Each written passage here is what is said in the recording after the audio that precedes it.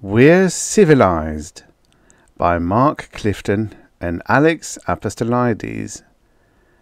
Originally published in Galaxy, August 1953. Narrated by Tom Trussel.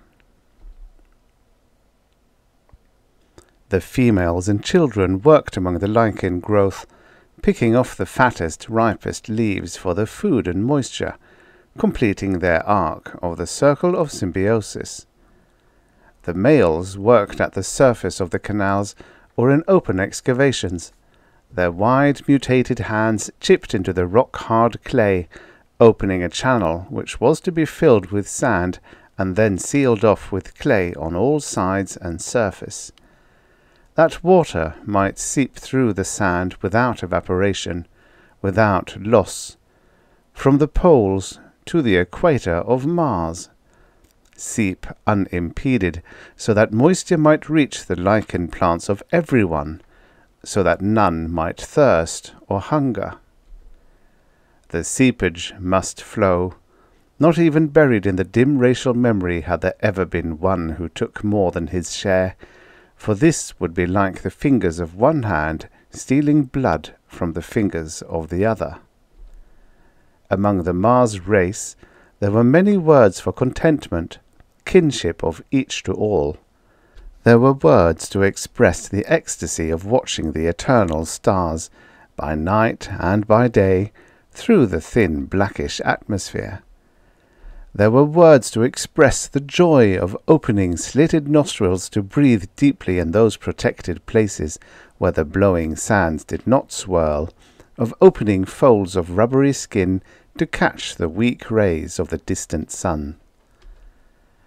But there were no words for mine as separate from yours, and there was no urge to cry out, Why am I here? What is the purpose of it all?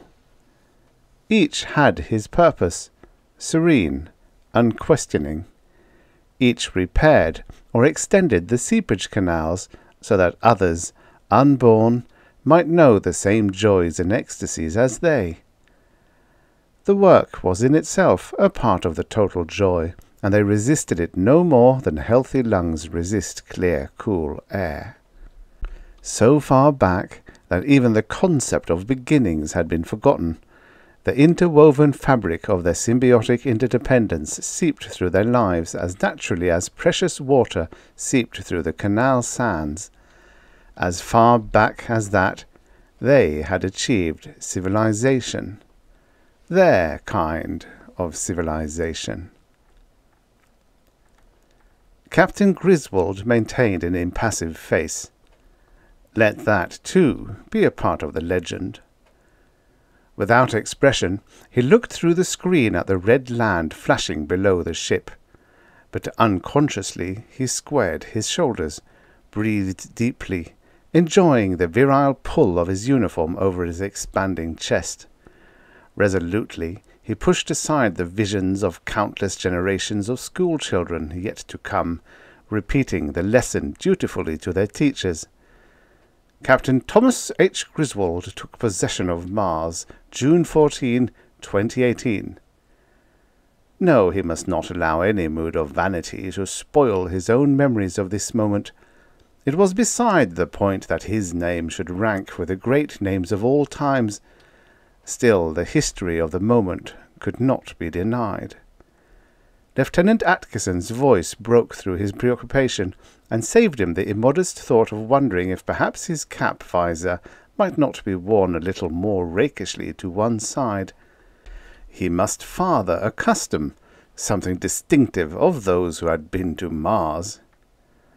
Another canal, sir! Below them, a straight line of grey-green stretched to the horizon, contrasting sharply with the red ferrous oxide of the landscape. An entire planet of ferrous oxide. Iron. Steel for the already starving technology of the Western Alliance. The captain felt a momentary irritation that even this narrow swath displaced the precious iron ore. Obviously, these canals served no purpose. His ship had circled the planet at its equator, and again from pole to pole. Canals everywhere, but nothing else. Enough time and fuel had been wasted. They must land. Obviously, there was no intelligent life, but the history of the moment must not be marred by any haste. There must be no question within the books yet to be written. There must be no accredited voice of criticism raised. My compliments to Mr. Barclay, he said harshly to Lieutenant Atkinson. And would he kindly step to the control room? He paused and added dryly, At his convenience. Mr. Barclay, indeed. What was it they called the civilian? An ethnologist? A fellow who was supposed to be an authority on races, civilizations, mores, and customs of groups. Well, the man was excess baggage.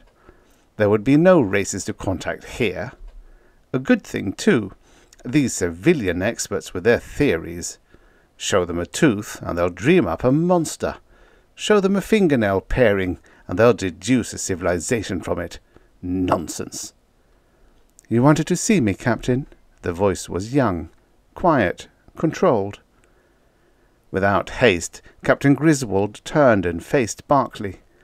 Not only a theorist, but a young theorist. These super bright young men with their sharp blue eyes. A lot of learning and no knowledge. A lot of wisdom and no common sense. He carefully controlled his voice, concealing his lack of respect for the civilian. Well, Mr. Barclay, we have quartered the globe. We have seen no evidence of civilization. You discount the canals, Captain? Barclay asked, as if more from curiosity than refutation. I must discount them, the captain answered decisively. Over all the planet we have seen no buildings, not even ruins, no evidence at all that intelligence exists here. I consider straight lines, running half the length of a world, to be evidence of something, sir. It was a flat statement, given without emphasis. Arguments, arguments! little men who have to inflate themselves into a stature of importance, destroy the sacred history of the moment. But quietly now, there must be no memory of petty conflict. Where are their buildings, Mr. Barclay? he asked with patient tolerance. Where are their factories? The smoke from their factories, the highways, the transportation facilities. Where are the airplanes? Even this thin air would support a fast jet. I do not require they have spaceships, Mr. Barclay, to concede them intelligence. I do not require they to be equal of man. I also have some scientific training, and my training tells me I cannot recognize the existence of something where there is no evidence at all. The canals, Barclay answered. His voice also was controlled for he too knew the history of this moment. But his concern was not for his own name in the history books. He knew only too well what its writers did to individuals for the sake of expediency. His concern was that this moment never be one of deep shame for man. Perhaps they have no buildings, no factory smoke, because they don't need them. Perhaps they don't have highways, because they don't want to go anywhere. Perhaps their concept of living is completely unlike ours. Griswold shrugged his shoulders. We speak an entirely different language, Mr. Barclay. I'm afraid you're right, Captain, Barclay sighed.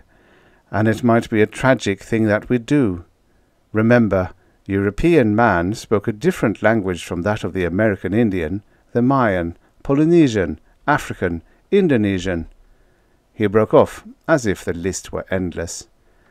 I ask only that we don't hasten into the same errors all over again. We can't hover here above the surface forever, Griswold said irritably. We have quartered the globe. The other experts are anxious to land so they can get to their work. We have made a search for your civilization, and we have not found it. I withdraw all objections to landing, Captain. You are entirely correct. We must land. The intercom on the wall squawked into life. Observation to control, observation to control. Network of canals forming a junction ahead. Prepare for landing, Lieutenant Atkinson, Griswold commanded sharply. At the junction. He turned and watched the screen. There, Mr. Barclay, dead ahead. A dozen, at least a dozen of your canals joining at one spot. Surely, if there were a civilization at all, you would find it at such a spot. Slowly and carefully he constructed the pages of history. I do not wish the implication ever to arise that this ship's commander, or any of its personnel, failed to cooperate in every way with the scientific authorities aboard. I know that, Captain, Barclay answered, and I agree. The junction, then. The sigh of servo mechanism, the flare of intolerably hot blue flame, and the ship stood motionless above the junction of canals. Ponderously, slowly, she settled, held aloft by the pillars of flame beneath her, directly above the junction, fusing the sand in the canals to glass exploding their walls with steam. Within their warm and protected burrows beside the canals, slitted nostrils closed, iris of eyes contracted, fluted layers of skin opened and pulled tight, and opened again convulsively in the reflexes of death. There was a slight jar only as the ship settled to the ground, bathed in the mushrooming flame. A good landing, Lieutenant, Captain Griswold complimented. A good landing indeed. His head came up, and he watched the screen to see the landscape reappear through the dust and steam. Prepare to disembark in approximately six hours, Lieutenant. The heat should have subsided sufficiently by then. The ship's officers, the civ... Uh, scientific party, a complement of men. I will lead the way. You, Lieutenant, will carry the flag and the necessary appurtenances to the ceremony. We will hold it without delay. Barclay was watching the screen also. He wondered what the effect of the landing heat would be on the canals. He wondered why it had been considered necessary to land squarely on the junction. Why man always, as if instinctively, does the most destructive thing he can. He shrugged it away. Wherever they landed might have been the wrong place. Farther along the canals, where the heat had not reached, the Mars race began to emerge from their protecting burrows. They had seen the meteor hurtling downward, and it was part of their conditioning to seek their burrows when any threatening phenomenon occurred. Flaming meteors had fallen before, but never in the interlocked racial mind was there memory of one which had fallen directly on a canal junction. Within the fabric of their instinct, they sensed the fused sand, the broken clay walls, the water boiling through the broken walls, wasted. They sensed the waters on the other side of the barrier seeping onward, leaving sand unfilled. Within the nerves of their own bodies, they felt the anticipated pangs of tendril roots searching down into the sand for water, and not finding it. The urgency came upon them all within the region, to remove this meteor, restore the canals as soon as the heat would permit. They began to gather, circling the meteor, circling the scorched ground around it. The urgency of getting at it before there was too much water lost drove them in upon the hot ground. The unaccustomed heat held them back. They milled uncertainly, in increasing numbers, around the meteor. Since Captain Griswold had not asked him to leave the control room during landing operations, Barclay still stood and watched the screen. At the first appearance of the Mars race emerging from the soil, he exclaimed in great excitement, There they are! There they are, Captain! Griswold came over and stood beside him, watching the screen. His eyes widened. Horrible! he muttered in revulsion. The gorge arose in his throat and stopped his speech for a moment. But history took possession of him again. I suppose we will get accustomed to their appearance in time, he conceded. They're the builders, Captain. Wonderful, Barclay exulted. Those shovel-shaped forelimbs, they are the builders. Perhaps, Griswold agreed. But in the way a mole or gopher Still, if they were intelligent enough to be trained for mining operations. But then you certainly cannot call these things intelligent, Mr. Barclay. How do we know, Captain? But the captain was looking about vainly for buildings, for factory smoke, for highways. Lieutenant Atkinson, he called. Yes, sir? Send an immediate order throughout the ship. The Mars things are not to be molested. He glanced at Barclay as he gave the order, and then glanced away. Double the complement of men on the landing party, and see that they are fully armed. Then back to Barclay. A good leader guards against every contingency, but there will be no indiscriminate slaughter. You may be assured of that. I am as anxious as you that man. Thank you, Captain, Barclay answered. And the planting of the flag, the taking possession? Well, now, Mr. Barclay, what shall we do now that we have seen some things? Go away? Leave an entire planet of iron ore to be claimed later by Eastern Alliance? The enemy is not far behind us in their technology, Mr. Barclay. He warmed to his theme. His head came up, his shoulders back. Suppose these things are intelligent. Suppose they do have feelings of one kind or another. What would happen to them if the Eastern Alliance laid claim to this planet? Under us, at least, they will have protection. We will set aside reservations where they may live in peace. Obviously, they live in burrows in the ground. I see no buildings. Their total food supply must be these miserable plants. What a miserable existence they have now. We will change that.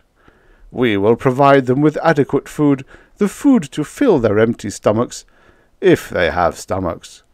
We will clothe their repulsive nakedness. If they have enough sense to learn, we will give them the pride of self-employment in our mines and factories. We would be less than human, Mr. Barclay, if we did not acknowledge our duty. The light of noble intention shone in his face. He was swept away with his own eloquence. If, he finished, we take care of the duty, the destiny will take care of itself. That was very good. He hoped they would have the grace to quote him on that. It was a fine summing up of his entire character. Barclay smiled a rueful smile. There was no stopping it. It was not a matter of not planting the flag, not taking possession. The captain was right. If not the Western Alliance, then certainly the Eastern Alliance. His quarrel was not with the captain, nor with the duty but with the destiny. The issue was not to be decided now. It had already been decided. Decided when the first apeman had crept into the tree nest of another and stolen his mate. Man takes. Whether it be by barbaric rapine or reluctant acceptance of duty through carefully contrived diplomacy, man takes. Barclay turned and made his way out of the control room. Outside, the soil shifted in its contortions of cooling. The wind whispered dryly over the red landscape, sending up little swirls of dust, eternally shifting it from one place to another. The soil was less hot, and as it cooled, the Mars race pressed inward. Theirs was the urgency to get at this meteor as quickly as possible, remove it, start the water flowing once more. Observation reports ground cool enough for landing. The magic words seemed to sing into the control cabin. Summon all landing party, Captain Griswold commanded immediately. The signal bells rang throughout the ship. The bell in the supercargo cabin rang also. With the other scientists, Barclay dressed in his protecting suit fitted the clear glassite oxygen helmet over his head, fastened it. Together with the rest, he stood at the designated airlock to await the captain's coming. And the captain did not keep them waiting. At precisely the right moment, with only a flicker of a side glance at the photographic equipment, the captain strode ahead of his officers to the airlock. The sealing doors of the corridor behind them closed, shutting off the entire party, making the corridor itself into a great airlock. There was a long sigh, and the great beams of the locks moved ponderously against their weight. There was the rush of air from the corridor as the heavier pressure rushed out through the opening locks to equalize with the thin air of Mars. With the air rushed outward fungus spores, virus, microbes, most of them to perish under the alien conditions, but some to survive and thrive. The red light above the lock was blinking on off, on off. The officers, the scientists, the armed men watched the light intently. It blinked off for the last time. The locks were open. The great ramp settled to the ground. In ordered military file, the captain at the head, the landing party passed down the corridor, through the locks, out upon the ramp beneath the blue-black sky, and down to the red soil. Captain Griswold was the first man to set foot on Mars June 14th, 2018. The photographers were second. Now the Mars race was moving closer to the ship, but the ground was still too hot for their unprotected feet. The pressing need for removing the meteor possessed them. The movement of the men disembarking from the ship was to them no more than another unintelligible aspect of this incredible meteor.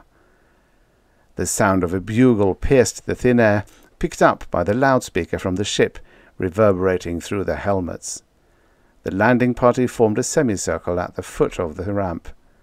Captain Griswold, his face as rigidly set as a marble statuary of him to follow, reached out and took the flag from Lieutenant Atkinson.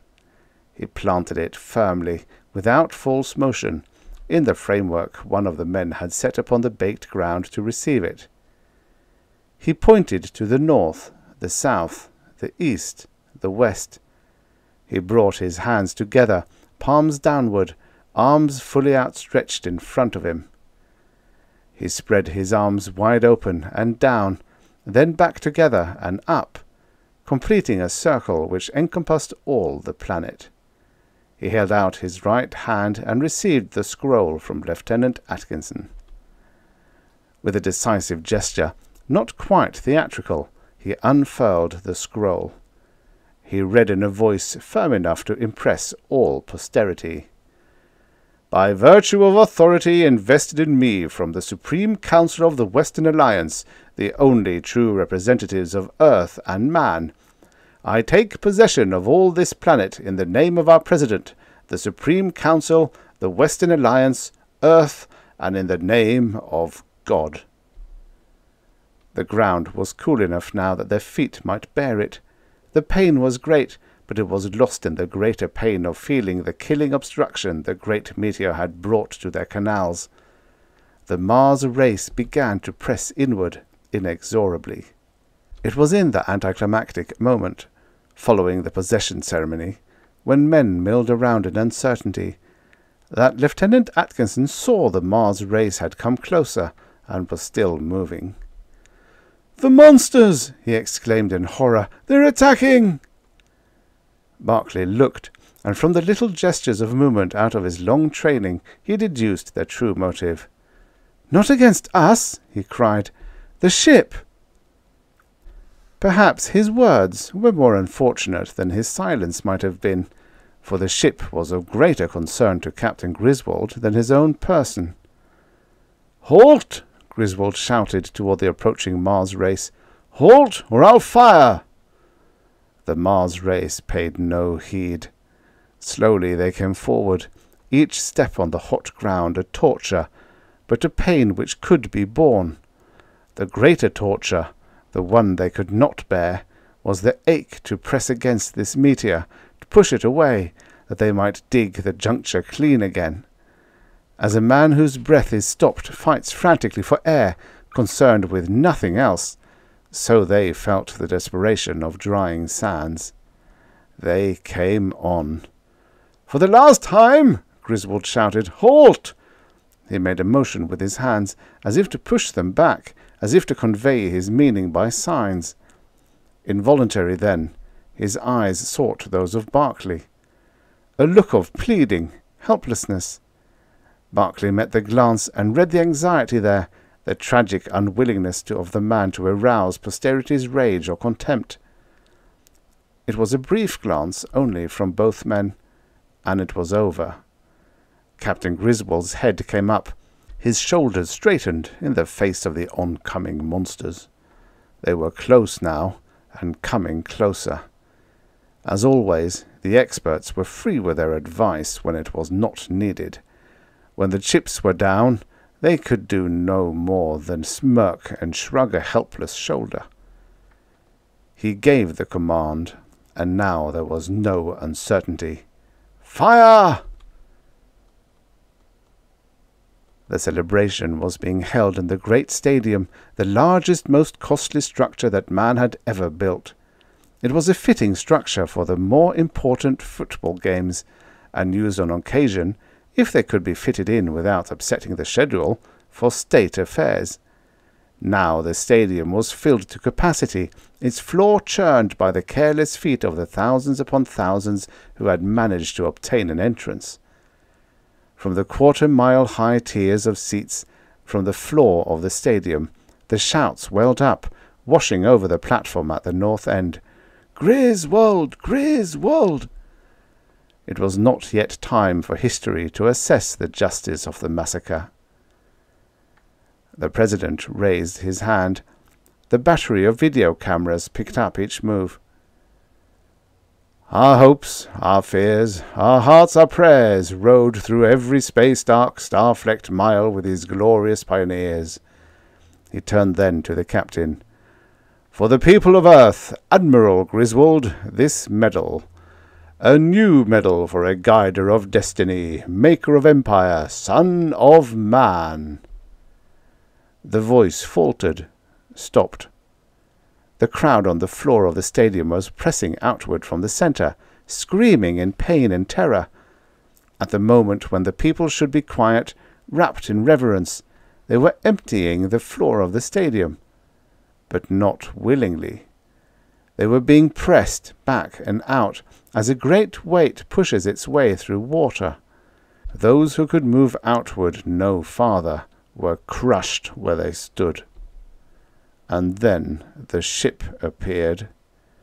Hazy of outline, shimmering with impossible angles, seen by its glinting fire of light rather than by its solid form, as if its reality were in some other dimension, and this only a projection. The ship appeared. The president's hand reached out and gripped Griswold's shoulder as he leaned back and back, trying to determine its vast height.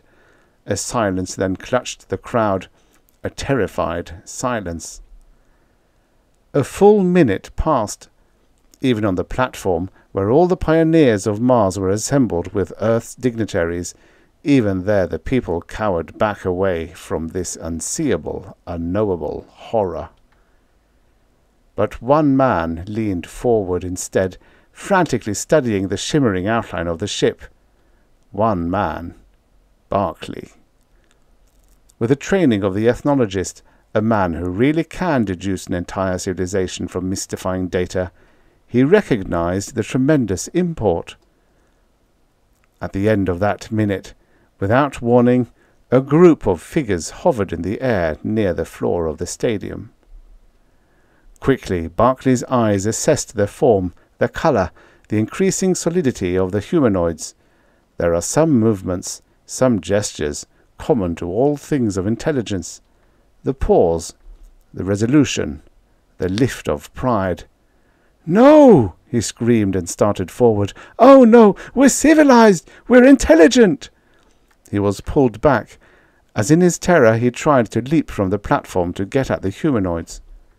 Held there, unable to move, he read the meaning of the actions of the group hovering near the ship. One flashed a shining tentacle around, as if to point to the stadium, the pitifully small spaceship on display, the crowds of people. The leader manifestly ignored him. He flowed forward a pace, his ovoid head held high in pride and arrogance. He pointed a tentacle toward the south end of the stadium, and a pillar of leaping flame arose, fed with no fuel, never to cease its fire, the symbol of possession. He pointed his tentacles to the north, the south, the east, the west. He motioned with his tentacles as if to encircle all of earth. He unfurled a scroll and began to read. The end. Subscribe for your daily stories of futures past. Go on. Press the button, ring the bell, like and share.